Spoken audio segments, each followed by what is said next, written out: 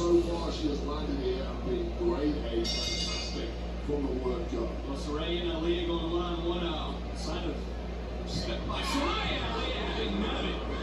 I don't think Aliyah respects anyone. No, and again, Aliyah and Jessi Kamea and Robert Stone. I mean, they still believe that they won the women's NXT Tag Team titles a few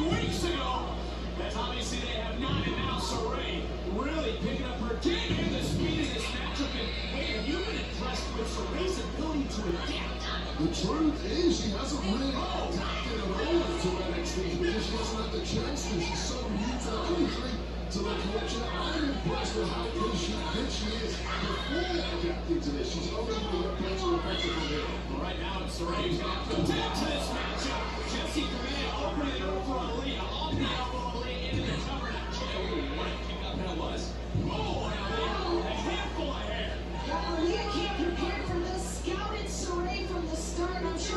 Stone's been filling her head with strategy. Well, Stone's been very boisterous on social media, you know.